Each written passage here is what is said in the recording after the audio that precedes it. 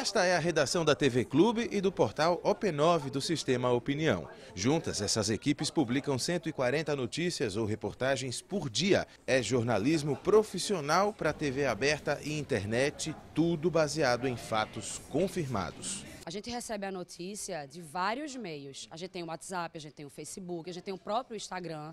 A notícia ela chega para a gente a todo momento, por todos esses canais, além do e-mail e além do telefone. Então, a primeira coisa que a gente precisa fazer quando a notícia chega é saber, aquela fonte ela é oficial, ela é uma fonte que ela costuma te mandar notícias. Essa é uma maneira da gente checar se a notícia é verdadeira ou não.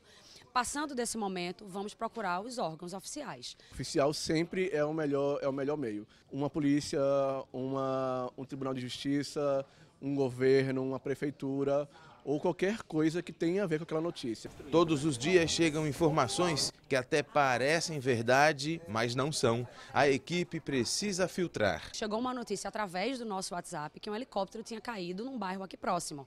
A primeira coisa que a gente fez, ligar para o Corpo de Bombeiros, porque quando um incidente desse acontece, é o órgão que vai para o local fazer o socorro das pessoas.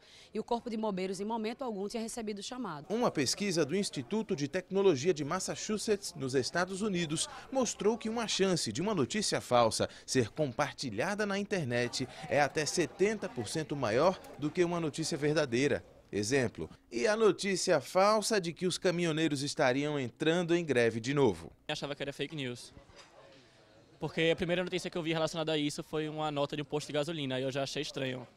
E depois, logo depois disso, eu vi gente fazendo fila em posto de gasolina. Então eu fiquei achando que era alguma estratégia que tinha por trás. A fake news é como aquele boato, mito ou lenda que se espalha muito facilmente pela multidão. E segundo os especialistas, quase sempre ela tenta meter medo na gente, com um objetivo: prejudicar algumas pessoas para beneficiar outras. Este representante do Ministério da Saúde adverte: as notícias falsas estão prejudicando a saúde do brasileiro. A análise da área técnica mostrou que a cobertura vacinal estava baixando nos últimos anos, de vacinas importantes como a poliomielite e a vacina de sarampo.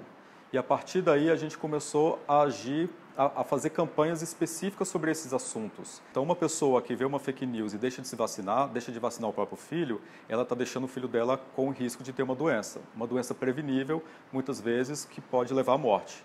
A Universidade Católica de Pernambuco vai começar um novo projeto sobre esse assunto. É um site que vai se chamar Verificaí. É uma plataforma que vai tentar automatizar parte do processo de checagem de notícia. Então, para efeitos de pesquisa, a gente vai centrar nossas checagens em notícias de presenciáveis. As pessoas vão poder mandar esse link para a gente e vai submeter através de algoritmos de computador essa notícia, esse link que foi enviado para checar se é verdade ou se é mentira. Esse conteúdo está circulando, circulando de uma maneira muito rápida e num fluxo muito grande. Né? Então, cada vez mais a gente precisa estabelecer filtros para que essa informação de qualidade, pelo menos, ela chegue às pessoas. O programa de computador que vai operar através do site está em fase final de desenvolvimento. A máquina, no final das contas, ela vai sugerir né, se a notícia é fake ou não, mas quem vai determinar né, o resultado final da notícia, se é verdadeira ou falsa, é o usuário. Ele que vai tirar suas próprias conclusões. E com essa conclusão que o usuário tirar, ele nos ajuda a melhorar o processo de aprendizagem que vai ser implantado no futuro. Quando tudo estiver pronto, quem tiver dúvidas vai poder acessar e deixar o link para análise. Vai ser um formato bem simples e direto.